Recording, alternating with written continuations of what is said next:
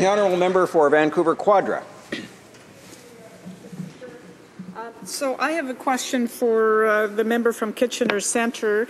Um, having been there not that long ago, I know that small business is a very important part of the economy of uh, his riding, and I'd like to know whether the member has been to the, the businesses, especially small and medium-sized businesses, in his riding and described how they, there will be $2.3 billion taken out of their pockets in this increase in tax on dividends. Uh, has he done that? Has he gotten the response to that?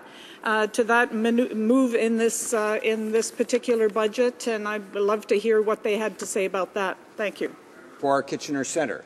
Thank you very much, uh, Mr. Speaker. I suppose the uh, best thing that I can do to respond uh, to my friend's, uh, my colleague's question, and I thank her for it, uh, is uh, to provide her with the reaction of the group which, uh, in my view, uh, most closely reflects the views of small businesses across Canada and that is the Canadian Chamber of Commerce. And this is what uh, they had to say about the budget.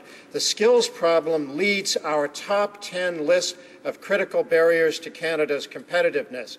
It's showing up all across the country in every industry.